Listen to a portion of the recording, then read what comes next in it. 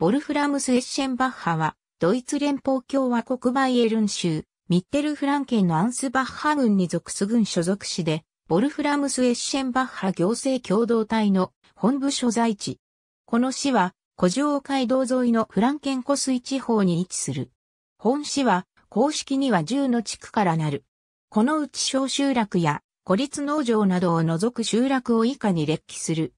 マネッセ写本に描かれたボルフラム・フォン・イッシェンバッハ1210年と1220年の間に作成された文書には、ベルトハイム博家は、エッシェンバッハ小教区をドイツ騎士団に寄贈したと記されている。この時からドイツ騎士団はエッシェンバッハの歴史に少なからぬ役割を演ずることとなる。この騎士団はおよそ600年以上もの間、この町を支配した。エッシェンバッハは重要な交易路沿いに位置し、交易の場として、属性の、あるいは宗教上の中心地となった。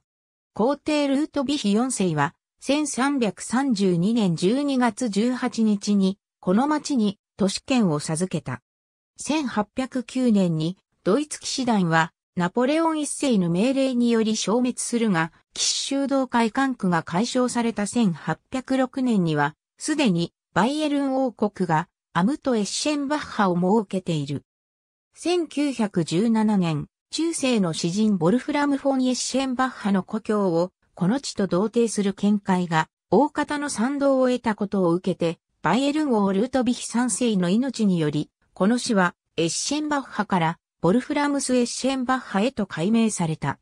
現在この小さな町には、バイエルン国王マクシミリアン2世によって建立されたボルフラムの立像と1995年に開館した記念の博物館ミュージアム、ボルフラム・フォン・エッシェンバッハが存在する。ボルフラムス・エッシェンバッハの市議会は14議席からなる。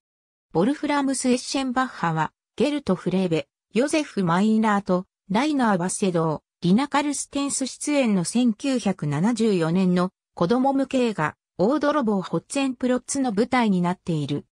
監督のグスタフ・エムックは、タイトルロールの中で、この村の住民を出演者としてクレジットしており、エッシェンバッハは、その名を明記して言及されている。ありがとうございます。